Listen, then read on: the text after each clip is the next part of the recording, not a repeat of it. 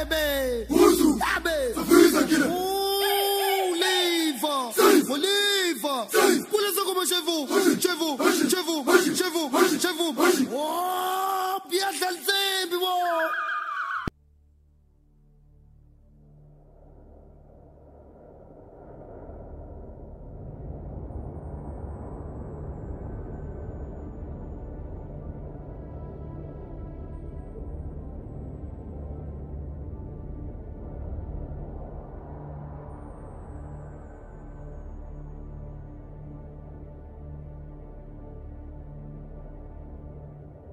January the 11th, 1879, in an obscure corner of southern Africa, the British Empire went to war with a friendly power.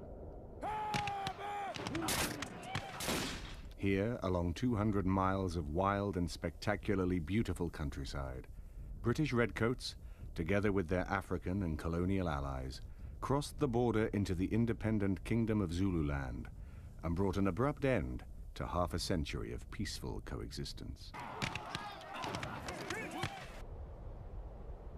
Yet just 11 days after the war began, the Zulus inflicted upon the British Army the worst defeat of the Victorian era. Over 1,700 men were killed, and a British general was chased ignominiously back to the border. British imperial pride was stung as seldom before. A war that the politicians had hoped would be over almost before it made the newspapers degenerated into a brutal slogging match which would last for six bloody months. For the Zulu people, the consequences of the invasion of 1879 would be disastrous. Thousands of their young men were killed in battle, the great royal homesteads were destroyed, the political and economic structure of the kingdom was undermined, and really this paved the way for the more modern exploitation of the Zulu people into recent times. Yet for the British, the ostensible victors, the campaign also proved disastrous. It had laid bare the cynical political ambitions which lay beneath the propaganda and pomp of empire. It left its glorious reputation in ruins. It led to the fall of a government and brought to an end a grand European dynasty. But who were the Zulu people? And what strange set of circumstances brought them into such dramatic conflict with the greatest empire the world has ever known?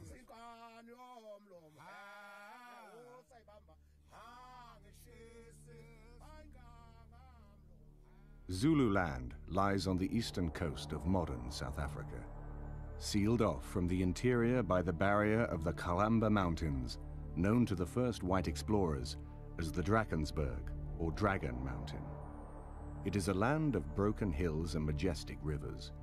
The history of its human habitation is lost in the mists of time, but the enigmatic cave paintings left by the first human inhabitants, the San Bushmen, date back many thousands of years, and archaeologists believe it has been home to robust, more recognizably modern African societies for nearly a thousand years.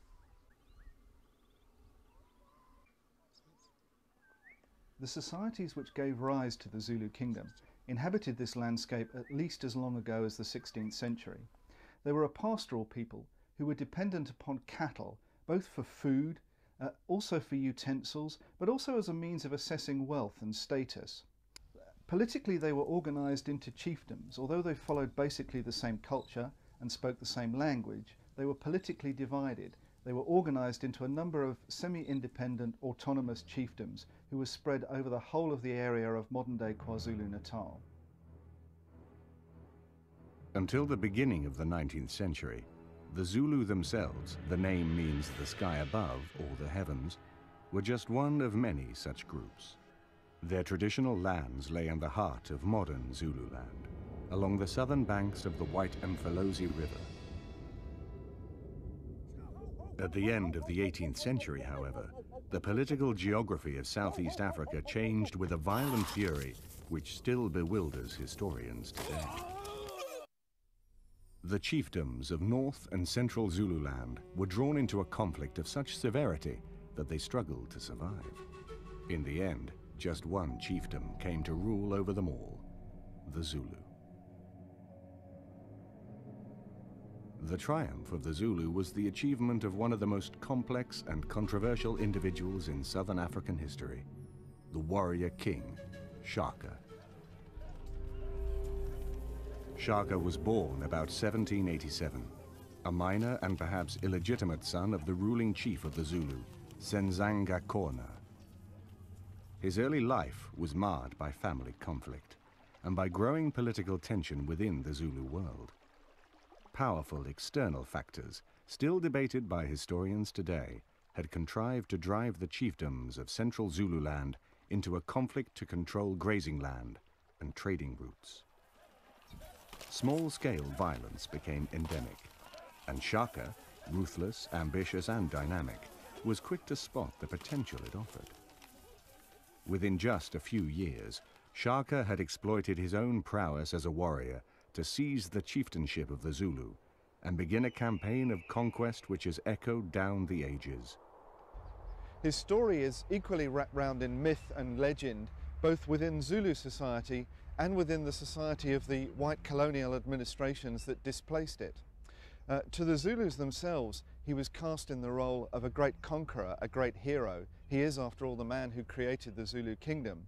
To the later white administrations which succeeded the Zulus, he was portrayed as a tyrant, a ruthless murderer, someone in the, in the mould of Pol Pot or Stalin in modern times.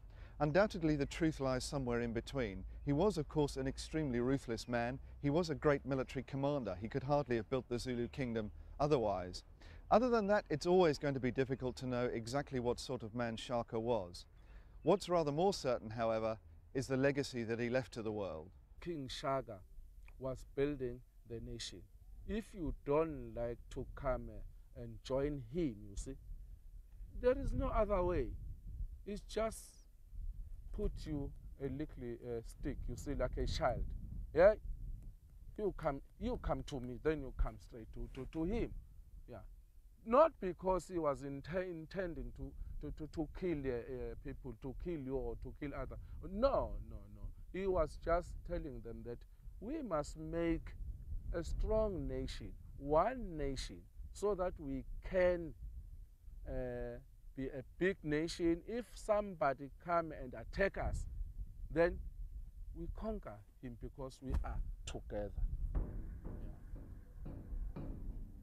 Under Shaka, the Zulu emerged as the most powerful group between the mountains and the sea, dominating the country from the Black Mfolozi River in the north to the Tugela River in the south. Shaka's armies regularly raided further afield, forcing other groups to submit to the Zulu or simply to flee to escape him. Shaka owed much of his rise to a military revolution. Until the end of the 18th century, warfare in southeastern Africa was traditionally carried out by bands of youths armed with light-throwing spears. Shaka insisted that his warriors fight with a, a new weapon.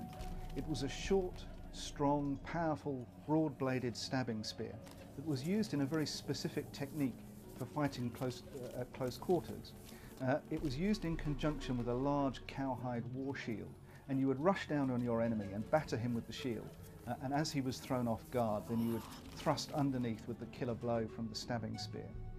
To bring his men to close quarters as quickly and efficiently as possible, Shaka developed a new battlefield tactic known as Izimpondo Zankomo, the horns of the bull. They just surround you as enemy. They surround an enemy. Then they, pu they put you on a, on a center. Then they start fighting with you so that you, you, you won't run away because you are on a center now. They, they've surrounded you. Then they defeat you. Shaka ruled for no more than 12 years, but his impact on the Zulu was extraordinary. Before Shaka, the Zulus say, there were only chiefs. Then Shaka was king. King Shaka made the Zulu powerful and wealthy. And yet, ironically, it was Shaka's very success which drew to him the seeds of his nation's destruction. Unknown to the Zulus, momentous changes were occurring a thousand miles away at the extreme southern tip of the African continent. Already, the destiny of southern Africa no longer lay in African hands alone. In 1488, the Portuguese explorer Bartolomeu Diaz became the first European to round the Cape of Good Hope, opening a major maritime highway that in time would stretch from Europe to India and the Far East. Mastery of this great sea route would dominate the global policy of the emerging empires in Europe, and in 1652, the Dutch East India Company established a way station at the Cape to service and provision passing Dutch ships. The Dutch East India Company fairly easily displaced the rather fragile political economy of the Khoi and San people who were indigenous to the Cape. Uh, but for really quite a long time, a couple of centuries, the Dutch were not primarily interested in the interior, and their possessions at the Cape consisted of little more than a mud fort uh, to protect it against possible invasion from the sea, uh, and a number of farmers who grew provisions to supply the passing East India Company ships on their way to the far more profitable uh, colonial possessions in the East Indies. Then, in 1806, the British Empire came to the Cape, seizing it from the Dutch in one of the twists and turns of the global war against Napoleon and his allies. For the British, the Cape had little to offer beyond its strategic location. Yet with the British came new forms of administration and authority, and new waves of immigration. The boundary of colonial southern Africa advanced inexorably into the hinterland, often driven by the restlessness of frontier farmers and frequently to the exasperation of imperial officials. It was really against this background of the early expansion of British colonialism in southern Africa uh, that rumours of the rise of the Zulu kingdom under King Shaka filtered down to the Cape. This was quite an alluring image to the Cape merchants, uh, conjured up ideas of this powerful, wealthy, independent African kingdom in the interior, who could, of course, be exploited for ivory and furs and all the other things that the mercantile community was interested in. Uh, and it was actually in 1824 that the Cape Town merchants uh, outfitted an expedition under the command of a ex-Royal Navy lieutenant by the name of Francis George Farewell, uh, who sailed up what was known generally then as the wild coast of southeastern Africa uh, to establish contact with the Zulu kingdom, specifically for commercial purposes. This was in no sense a diplomatic mission, and it was quite a dangerous and adventurous expedition. The coast itself was quite formidable and unapproachable, uh, the breakers breaking on the open shore, the very difficult and unnavigable rivers, had all put Europeans off for a couple of centuries actually trying to make contact with the peoples of the interior. To this unlikely beginning, did all future British claims in the region belong. Then, in September 1828, Shaka was assassinated in a palace coup orchestrated by members of his own family. His rule had lasted just 12 years, but he had changed the course of Zulu history forever. He left to his heirs one of the most powerful kingdoms in southern Africa, a nation that was to prove a bastion against the steady encroachment of white rule. The Zulus regard King Shaka as a great warrior, as a great hero. Uh, they just uh, put him uh, uh on a, a, top mountain, if I can say that, uh, because in Zulu we used to say Ugwelenyon. That means he's very high, you see, according to the Zulus and he is a great ancestor in, in Zulu. They believe in his uh, spirit that uh, King Shaka can even now build his nation, his Zulu nation. They believe that uh, King Shaka is busy building the nation. He won't sleep and get a rest, but he's busy fighting to unite his people. He's working for unifying the black people that's why they've got uh, the festival of King Shaka, where they remember King Shaka as the hero on the 24th of September every year, each and every year. Then they go down to KwaDukuza in Stanger near Durban, you see, on the north coast. They used to dance, they used uh, to, to talk, explain about Shaka's dreams, because he dreamed, he dreamed that uh, in future he's gonna build the nation. Then his dream came uh, true now. Then uh, he's busy fighting uh, now uh, to to remove the bad spirit among uh, his what you call his nation. You see, that's what they believe. It was during the reign of his successor, King Dingane, that European expansion first posed a serious threat to the security of the Zulu kingdom. King Shaka's heir, his brother Dingane, actually one of the men who assassinated him, uh, was faced with consolidating the Zulu kingdom in the aftermath of this period of huge expansion. He actually moved the focus of the Zulu kingdom back much more to the north into the area that we now consider Zululand. Unfortunately, the outside world still intruded upon the history of the Zulu kingdom at this point. There were huge events going on in the Cape far to the south. The descendants of the original Dutch settlers at the Cape had found pretty quickly that after the British took over in 1806, they didn't like British authority. There were a whole number of reasons for this. British had a much more metropolitan, uh, much more world view uh, than the very parochial attitude of the, the Dutch speaking settlers, who of course are generally known to history as the Boers. And throughout the 1830s, many of the Boer groups who felt that they were being unsympathetically treated by this new authority began to trek away, to move away from British authority to establish new possessions of their own in the interior. Now, at the end of 1837, they crossed over the Khahlamba Mountains, the Drakensberg Mountains, uh, and they arrived in the territory that King Dingane claimed authority over. Very quickly, negotiations broke down. Relationships turned very sour very quickly between this new European group and the Zulus, and there was a very bloody war fought throughout 1838, which culminated really in the ascendancy of the Boers at the Battle of Ncome, or as it's generally remembered today, Blood River. The victory at Blood River marked the final end of Zulu claims in Natal. The Boers divided the country up among themselves, seizing the best farmland and driving off the African population. Yet the prospect of Boer rule in Natal caused the British in faraway Cape Town some concern.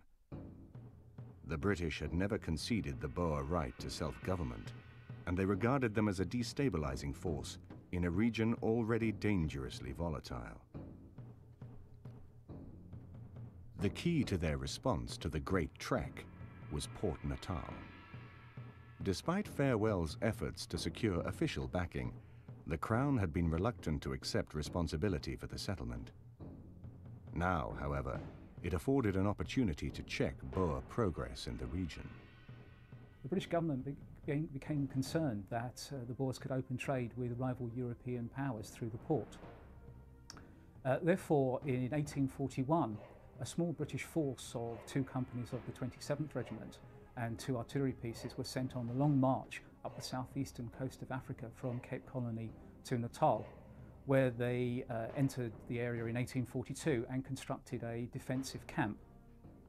Negotiations between the Boers and the Britons quickly deteriorated and uh, in 1842, uh, one evening in May, part of the British force was dispatched on a night march to attack the Boer camp.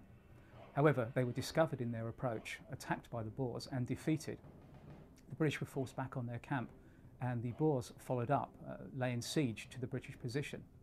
Fortunately for the British, two men, one black and one white, managed to break through the lines before they were completely encircled and travelled some 500 miles to Grahamstown to raise the alarm about a month later, a British warship, HMS Southampton, arrived off the coast of Port Natal, bombarded the Boer positions and raised the siege, forcing the Boers to flee from Natal.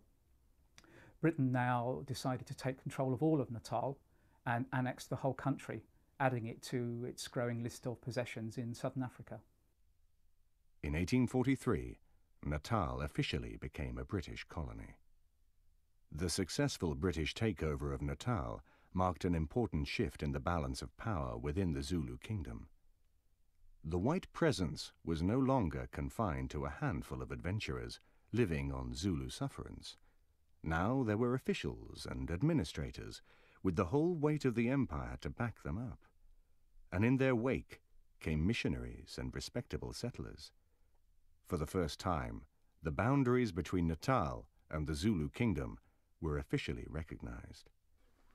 Port Natal, renamed Durban in honor of a British governor, developed as a commercial harbor, while 50 miles inland, an impressive crop of Victorian buildings marked the British administrative capital, Pietermaritzburg. While Europeans exercised power in Natal from 1843, they were of course hugely outnumbered by the African population which was there before them.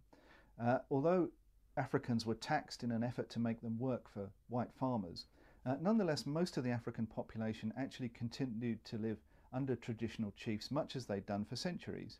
Uh, this meant that the European settler population uh, tended to think of themselves as being um, small, isolated, and outnumbered uh, outposts of Christianity, very much in contemporary terms, uh, surrounded by the savagery of Africa all around.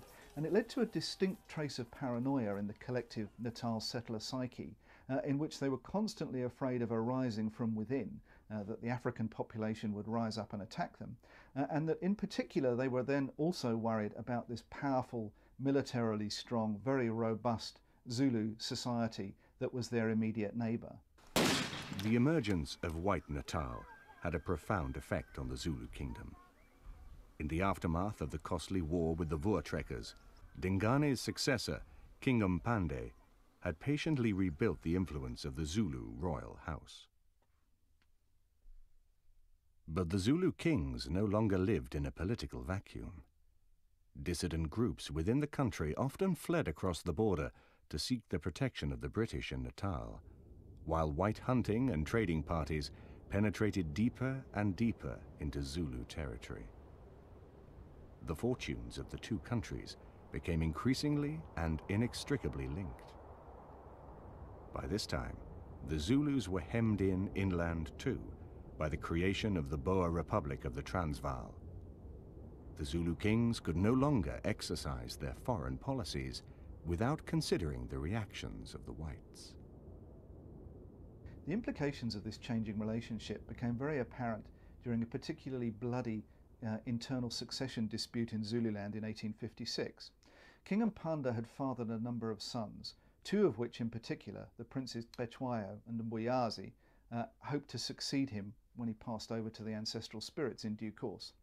Um, Mpande himself refused to nominate an heir, preferring to play one off against the other to ensure his own political survival. But in 1856, the two of them had accumulated sufficient followers uh, that they actually fought one another to secure their succession for the future. Prince Mbuyazi, who was outnumbered, collected his followers together and tried to flee into Natal. This was very much an expression of the fact that Natal was now emerging as a power base in its own right on the Zulu borders. As it happened, Prince Cetshwayo caught him at the border on the banks of the Tugela River uh, and actually destroyed Prince Mbuyazi in one of the bloodiest battles in Zulu history at a place called Ndondakusuka. Nonetheless, it was still another 12 years before Mpande ultimately died and Prince Cetshwayo succeeded to his birthright.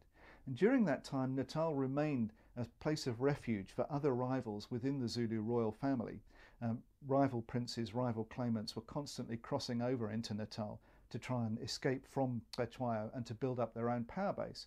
And so by the time Cetshwayo became king in 1873, Natal had emerged very much as an alternative uh, focus of authority, which potentially, right from the beginning of his reign, was a challenge to King Cetshwayo's dominance in the region. In 1872, King Mpande died. To bolster his own position within the country, Cetshwayo invited a delegation from British Natal to attend the ceremonies. It would prove a fatal mistake. The Natal party was led by the Secretary for Native Affairs, Theophilus Shepstone. Shepstone was to have a major influence on the events which followed. The son of a Wesleyan missionary, he spoke several African languages fluently and prided himself on his understanding of the native mind.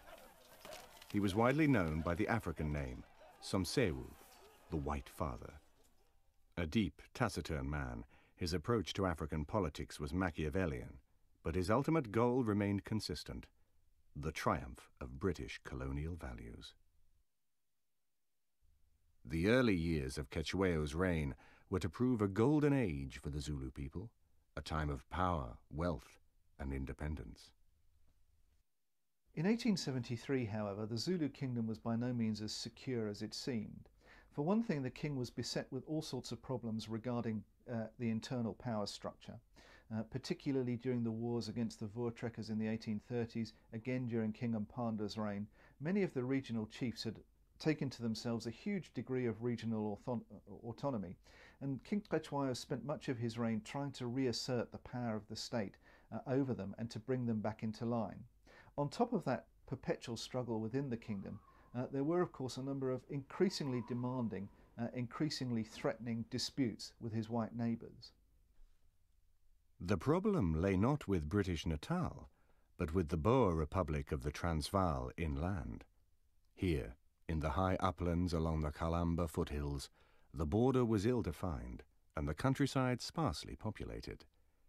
King Mpande had allowed Republican Boers, who were emigrating from Natal in the face of the British takeover, to establish farms there. And in the decades since, the Boers had pushed their herds further and further into Zulu territory. Their actions were widely resented in Zululand.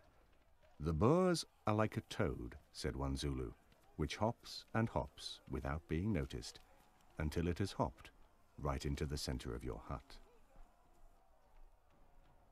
Throughout this dispute, Cetshwayo felt confident of the support of his ally in Natal, Shepstone. Then, with breathtaking suddenness, the political geography changed, and with it, Shepstone's attitude towards the Zulus. In 1868, diamonds had been discovered north of the Cape Colony. By an adroit redrawing of the map, the British had taken control of the area, and diggers flocked in, creating the boom town of Kimberley and altering forever the economy of southern Africa. But by the middle of the 1870s, the British were increasingly confident of their ability to impose their will on the world. Queen Victoria was at the height of her power and prestige, and British possessions stretched around the globe. The British Army was one of the most experienced in the world, and was armed with the best weapons the Industrial Revolution could provide. In London, imperial theorists were increasingly prepared to grasp the nettle of their more troublesome dependencies. The solution proposed for southern Africa was a policy called confederation. The disparate groups who lived there would be brought loosely under British control. The first piece in the fractured political jigsaw to be painted over red was the Transvaal Republic. Under the pretext of offering military protection, the British stepped in. Troops were marched to Pretoria, and the Transvaal simply annexed to the British Crown. For the Zulus, the annexation of the Transvaal had unforeseen repercussions. The man appointed to head the new Transvaal government was none other than Theophilus Shepstone. But if Cetshwayo expected his old friend to resolve the border dispute, however, he was mistaken. With the frontier farmers now under British protection, Shepstone took their part. It was a change Cetshwayo regarded as little more than a personal betrayal. Against this background of deteriorating Anglo-Zulu relations, a new figure arrived in South Africa to take charge of British affairs.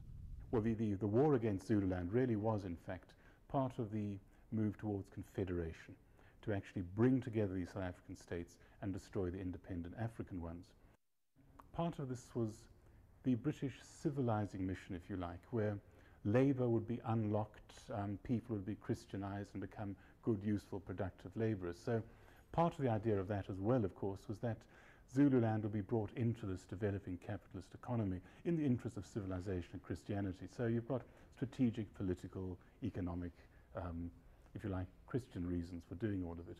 And Sir Bartle Frere was sent out to South Africa's High Commissioner to get this process going. And this was his job. He pushed the process the whole way through. Um, he was determined that a short, sharp war was all that you'd need against the Zulu, that a quick campaign would knock the Zulu out, and then you could bring the whole confederation system into being.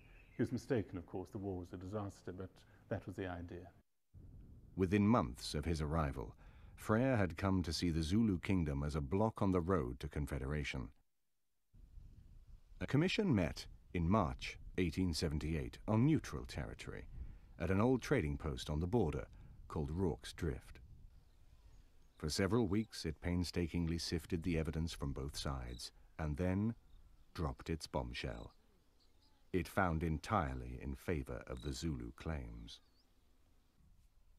The findings were a setback to Frere, but while he considered his options, the Zulus played into his hands. In July 1878, two wives of an important border chieftain by the name of Sihayo fled across from the Zulu side across the Umzinyathi River uh, and moved in actually with their lovers on the Natal bank. Now, according to Zulu custom, this was something of a heinous crime. It involved a great deal of embarrassment to a man who had huge status and importance uh, on the Zulu side of the border. And although Sihayo himself didn't intend to do anything about it, his family were outraged. Uh, and indeed, when Sihayo himself was away attending the king, his senior son, a man by the name of Mehlokazulu, who was quite a prominent warrior. Um, he was a commander in the Ingobamakhosi regiment, a young man known as being fairly forceful and fairly aggressive, actually took the law into his own hands. Uh, and with a small armed force, about 200 men, Mehlokazulu crossed over the river into British territory. They surrounded the huts where these women had taken refuge and they dragged them back to the Zulu side of the border. And there, in accordance with Zulu law, these two women were put to death uh, they were actually shot, as Natal Settler Society noted with a certain amount of outrage, uh, within sight of the mission station at Rorke's Drift. While settler opinion in Natal considered this apparent outrage, a second incident occurred. Africans living on the outskirts of Lüneburg in the disputed territory were raided and their cattle stolen. The raiders were followers of Mbilini waMswati, who actually wasn't a Zulu. He was actually an exiled Swazi prince. Uh, he was one of the sons of the Swazi king Sobhuza, and he tried to succeed to the Swazi throne, but actually had failed and had been chased out. And he'd come to King Cetshwayo and given his allegiance to King Cetshwayo. And Cetshwayo had then settled him up on the northern borders of Zululand, in the region of the Pongola River. But Mbilini was largely destitute. He had no followers and he had no cattle, uh, and he needed to build these up and he subsisted largely by banditry up on the northern border. This was an area that was a long way from the centres of any kind of authority, African or European. Uh, and Mbilini's followers had raided white farms in the vicinity of, uh, of Lüneburg, actually and killed a number of the African farm workers. Now, of course, coming so soon uh, upon the incident with the followers of Sihayo, this seemed to confirm uh, Sir Bartle Frere's feelings uh, that the Zulus were a very dangerous and difficult uh, neighbour that you couldn't peacefully live with these people, and certainly that any expansion of British authority really would have to face up to the challenge uh, faced, posed by these rather difficult neighbours. Frere's response was decisive. He invited Cetshwayo to send representatives to a meeting to be held on the banks of the Tugela River to hear the long-awaited Boundary Commission report and, ominously, to discuss other matters. The meeting took place on the 11th of December 1878. Beneath a large tarpaulin spread across the tree, Frere's agents read out the Commission's report, while the Zulu party squatted in the shade opposite them. Then came the sting in the tail. Tagged on to the Boundary Award were a series of demands which amounted to little more than an ultimatum. On the grounds that Shepstone's presence at Cetshwayo's invitation five years before had given the British a right to intervene in Zulu affairs, Frere demanded not only the surrender of both Mbilini and Mehlokazulu, but that Cetshwayo should disband the Zulu army. The Zulu representatives were astonished. Cetshwayo was given 30 days to comply, failing which he would find himself at war with the British Empire. Of course, if the Zulus did choose to comply, then Frere would have achieved his political objective anyway. He didn't expect that to happen. He expected that British troops would cross into Zululand and force British will upon the Zulu people. He expected also, of course, that it would be a quick and easy campaign. In fact, it didn't actually work out like that. And really, this tree behind me marks the point at which the tragedy of the Anglo-Zulu War and the subsequent destruction of Zulu independence really begins. Frere's ultimatum begged a clear military question. The man who would have charge of the coming war was the senior British officer in southern Africa, Lieutenant General Lord Chelmsford. Lord Chelmsford was then in his early 50s. Uh, he was a professional career soldier who'd cut his military teeth in the Crimean War and the Indian Mutiny. He was very much a product of his time and class, very much the Victorian gentleman, quiet, aloof, known for being polite. Now, he'd recently fought a campaign down on the Eastern Cape frontier uh, where he'd brought a very little, a very messy little campaign against the Amaxhosa people to a successful conclusion. And he came into Zululand fresh with the confidence that that had given him. But this was an ambitious plan. In order to operate in that environment, the British Army would have to take all of its supplies, ammunition, tents, food, uh, actually with it into the field. So any advancing column would need a huge supply train to support it. The Zulus, of course, would need none. Um, any war of manoeuvre, therefore, would be essentially in favour of the Zulus. Because they lived off the land, because they were used to moving in that environment, they could move much more quickly than, than the British were able to do. Lord Chelmsford therefore needed to come up with a strategy that would bring the Zulus to battle as quickly as possible. Uh, and he decided to invade in five separate columns, the idea being that he would then pin the Zulus down and make them fight. My one fear, he said to somebody, is that I won't get them to fight. I must drive them into a corner and make them fight. This required a large troop commitment and extensive logistical backup. There were simply not enough troops available in South Africa, and the British government, already committed to a war in Afghanistan, was reluctant to send more. Moreover, each column would require hundreds of wagons to carry equipment and supplies, and Chelmsford's agents soon exhausted the colonial market. Chelmsford's solution was to revise his invasion plan. He reduced the number of offensive columns to three, while the other two were reduced in size and given a largely defensive role. Throughout the second half of January, British troops were assembled along the border. We shall have to put the redcoats forward to bear the first brunt, and then I think the natives will go in. I'm inclined to think that the first experience of the power of the Martini Henry rifle will be such a surprise to the Zulus that they will not be formidable after the first effort. There were too few redcoats to wage the war alone, however, and Chelmsford called upon the resources of Natal to help him. One of the major problems facing Chelmsford as he formed his army for the invasion of Zululand was a total lack of cavalry. Therefore, Chelmsford requested the use of the Natal Volunteer Corps. These were small units, numbering perhaps only 35 to 60 men, who were recruited on a part time basis um, from the white settler community to form a defence force for Natal. Although recruited generally from the uh, flotsam and jetsam of colonial life, um, this much needed source of manpower uh, helped Chelmsford build up his very limited cavalry force. Yet the settlers weren't the only untapped military resource in Natal. Many of the Africans living in the colony had a history of antagonism towards the Zulu royal house. While the military build-up on the borders continued, the Zulu movements could only be guessed at.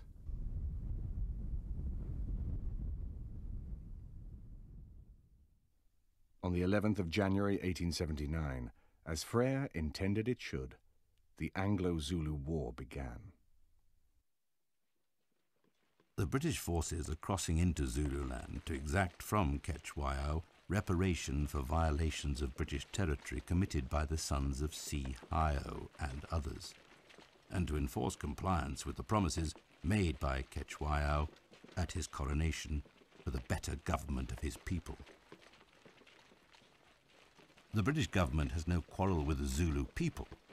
All Zulus who come in unarmed or who lay down their arms will be provided for till the troubles of their country are over and will then, if they please, be allowed to return to their own land. But all who do not so submit will be dealt with as enemies. The coastal column, the right flank of Chelmsford's three-pronged attack, was commanded by Colonel Charles Knight Pearson, a competent officer who nonetheless had last seen action in the Crimea over 20 years before. Pearson's first objective was an abandoned Norwegian mission station known as Eshowe, which lay more than 30 miles from the border by an overgrown wagon track.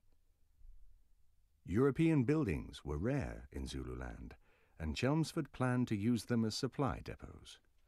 Pearson's men advanced through an empty landscape.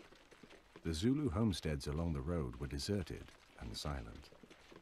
Now and then, British scouts had seen Zulu scouts watching from distant hilltops, but they had melted away as the troops approached. The whereabouts of the famous Zulu army remained unknown. The response of the Zulu High Command to the British invasion was very carefully considered. On the 17th, the Great Zulu Army left Ondini and the cluster of royal homesteads there, uh, striking out towards the British invaders. It was some 28,000 strong. Most of the army marched westwards towards the direction that the centre column was coming from, from Rorke's Drift. Uh, but a, a, day away from Ulundi, about three and a half thousand men peeled off uh, under the command of a well-known Induna by the name of Godide kaNdlela, uh, and struck down towards the coast to support the elements which had been left in that area to harass Colonel Pearson's column. On the 21st of January, Pearson passed close to a Zulu royal homestead known as kwaGingindlovu. His scouts reported seeing a Zulu force nearby, but when he sent a party to investigate, they found the homestead deserted. On the 22nd, the column advanced again, following a track which took them across the Inyezane River and up through the hills below Eshowe. I'm standing on the banks of the Inyezane River. At about 8 o'clock on the morning of the 22nd of January, Colonel Pearson's column crossed the river here, intending to follow a track which led up through these hills on the way to Eshowe. The area seemed to be free of Zulus, but just as Pearson's wagons started to get across the river, they noticed some Zulu scouts on the top of that hill behind me, the higher hill up there uh, on the right. Pearson sent forward a detachment of the Natal native contingent under the command of a Captain Hart to drive the Zulu scouts off. And they crossed the ground behind me, advancing up the hill, following the Zulus who disappeared over the line of the hill behind them. Then, just as they got halfway up the hill, there was a sudden shout of Usutu, and Zulus rose up out of the grass and rushed down to attack Pearson's column. Pearson hurried forward his two field guns and the men of the Buffs, who had just crossed the river. There was a slight rise across the road, opposite the Zulu position, and here he formed his battle line. As the British responded to the sudden appearance of the Zulus, the true strength of their force became apparent. Hart's forward movement with his detachment of the Natal native contingent had stumbled into the leading elements of the Zulu left horn and provoked the attack. With no further need for concealment, the main force of the Zulu left horn now began to stream down a long spur of Wombane Hill, uh, intending to work around the right of the British line and cut across the rear of the leading section of Pearson's column as it uh, crossed the river. A heavy concentration of British fire followed this sweeping movement.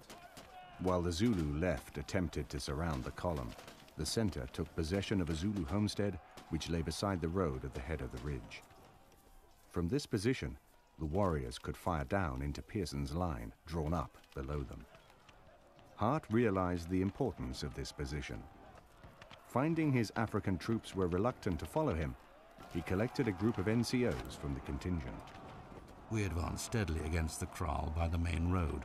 The officers, except myself, dismounted, and the little party used their rifles well and did as I directed, halting to fire and advancing again when I gave the word.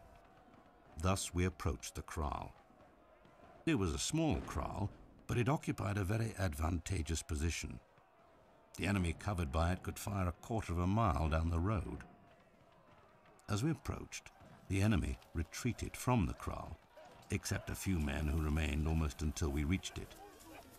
Not one of our party was killed or wounded in taking the kraal, but several dead bodies of the enemy showed that our fire had been more effective. I at once set the kraal on fire, and as the flames shot high in the air, in consuming the huts, we gave a loud cheer altogether. Hart's sortie had cleared the road, while the advance of the Zulu left had ground to a halt in the face of the heavy fire from the infantry. The battle lasted perhaps an hour and a half. and the British had been surprised and impressed by the determination of the Zulu attacks.